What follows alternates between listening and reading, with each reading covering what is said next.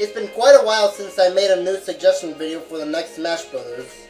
About a year, if you don't count the re-uploads of my old suggestions for the next Smash Brothers. Now, there's a stage that I want for the next Smash Brothers, and this one will be on Castelia City from Pokemon Black and White. Now, what do I want for this stage? It should look the same as it does in Pokemon Black and White, with a few changes of course. It should be the same size as the New Pork City stage, the majority of the battlefield should be on top of buildings, and sometimes ships will go on and off screen. These ships can be used as platforms. In the background you'll see Tranquill flying around in the sky, and in the water, Basculin might jump out at you and attack you. Venipede will also appear occasionally. Stage also scrolls back and forth around the front of the city. On the far left side, if you look in the background, you'll see Sky Arrow Bridge from behind a building.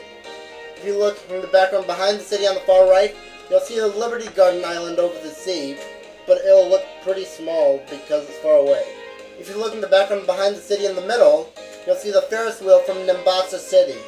Now, I'm sorry that this is a disappointment since I don't ask for much in this stage, but I'll just show you the music that I want to play on the stage.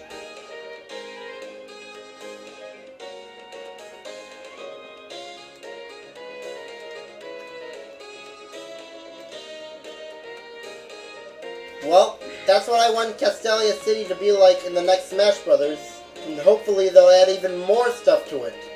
Alright, this is Medfedson the second signing out.